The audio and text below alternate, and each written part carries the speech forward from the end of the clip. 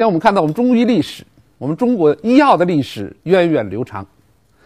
在那个时期，我们治这个潮湿病就有办法了啊，麦曲呀，呃，山菊琼啊，这种药材呀，有些药材可能似乎在还在用。我我不懂中医啊，这是一件事情。而且这个中医知识啊，看起来楚国人懂的，宋国人也懂。中医知识应该说已经很在当时很普遍了。这是一点，还有一点就是战争中的人情。两军阵前，当然都是各为其主。可是见了自己的朋友，总是不忍心他被杀死。这点情谊，就像戈壁荒滩里边长这么一两棵绿色植物。您现在收看的是《百家讲坛》栏目。楚庄王率领楚军攻打萧国，实际上最终是要把兵锋指向宋国。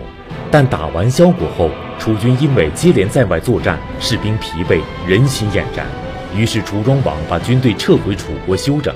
但楚庄王仍然处心积虑要打宋国，最终他使用了一个计策，重新点燃了楚国军民的战争情绪。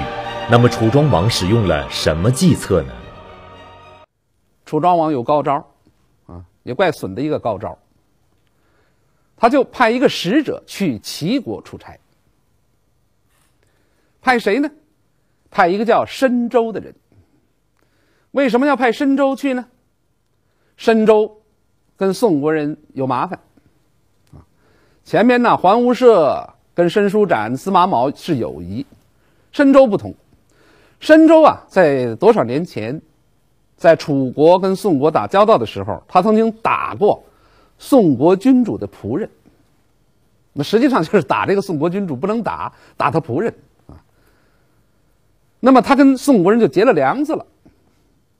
楚庄王要挑动这个战争情绪，派谁去出使齐国呢？派申州。说派申州出使齐国跟宋国有什么关系？有关系，因为按照地理上讲，从楚国到齐国，一定要从宋国走。按照列国之间的老规矩，走没问题，但是要实行一个礼节，什么礼节呢？借道，也就是事先要有人。哎，提前打打招呼，知会一下所经过的国家，说抱歉，对不起，我们借光，我们从这儿走，这个没问题。但是，楚庄王这次让申州去齐国出差，摆明了说无借道，不要借道，啊，无借道于宋。这摆明了，这这这很清楚，这申州很清楚，这是要牺牲自己的小命啊。申州当时就当时就说啊，说坏了这一下。他这么一说，楚庄王就说：“杀汝，吾伐之。你放心，杀了你，如果他们杀了你，我就罚他们。这个宝大包大揽，貌似大包大揽，可是对一个申州而言无济于事。杀死我，你去罚他们，对我来说有什么用呢？所以申州很苦啊，没办法，他也想了个办法，就把自己的儿子叫申西引荐给楚庄王。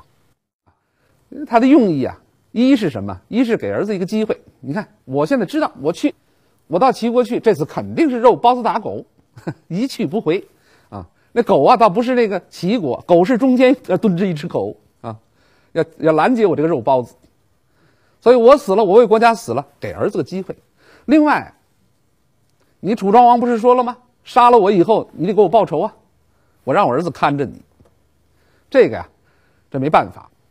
于是申州就出差走了，啊，满怀凄凉啊，有去无回呀，风萧萧兮啊，南风寒呐啊，所以他也心里很凄凉。所以结果到了宋，抓起来了，啊，当然记载不同，有人说呀是过的时候到齐国去没抓，回来还不接到抓了，啊，这个历史记载不同，反正就是被抓了。谁抓的他？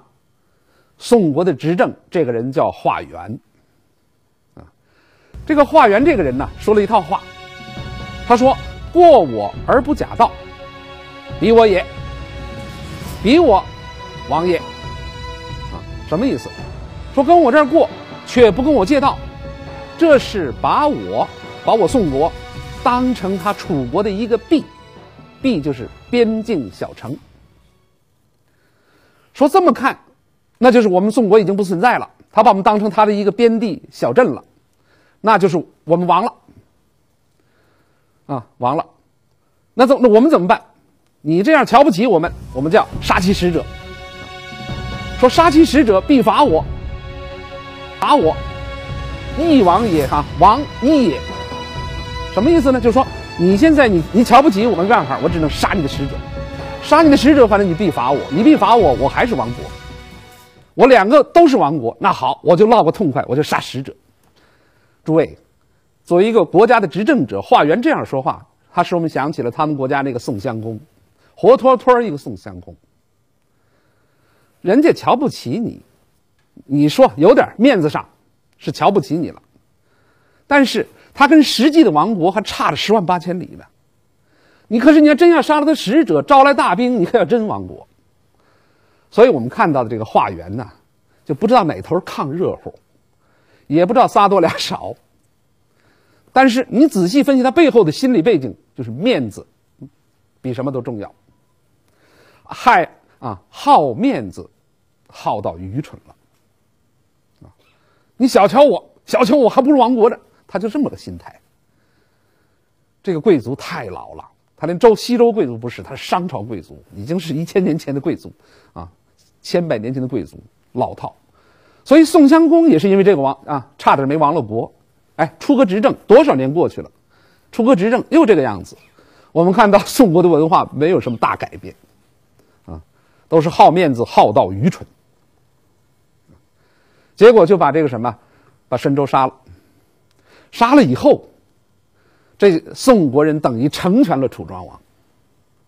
楚庄王听到这个消息以后，史书上怎么记载他呀？说头媚而起，啊，惧至于至皇，剑急于寝门之外，车急于续仆之室。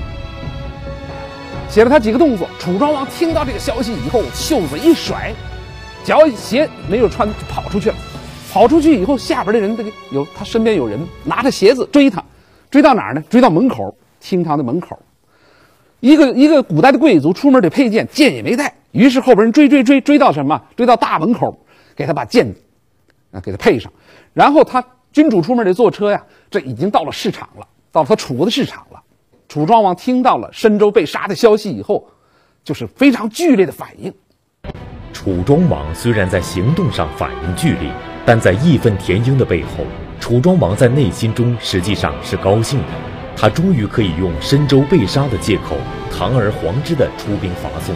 但在伐宋之战中，有一个人面对千军万马，面对生与死的考验，这个人用自己的实际行动体现了信与义的价值。那么，这个人是谁呢？他又做了什么呢？您现在收看的是《百家讲坛》栏目。王安石。中国古代最具传奇色彩的政治家、改革家、文学家，他生前位极人臣，身后却招来滚滚骂名。他的一生，他的是非成败、千秋功罪，到底该如何评说？唐宋八大家中最为独特的传奇人物，一段你不得不看的历史真相。百家讲坛九月九日起播出，敬请收看。好，军队于是迅速组织起军队，到了这年的九月。就把这个宋国围起来了，啊，这场战争啊打的时间很久，整个的是围了宋国的这是九个月。但是，我们说好面子的宋国人呐，他有他的长处，啊，为城市而战，好面子，这个时候就变成了民众的什么？民众的一种战斗力。与此同时，他们开始向晋国求救，这是必然的。原因很简单，他们是晋的盟国，于是消息就来啊，就带到了晋国，这个麻烦也就引到了晋国了。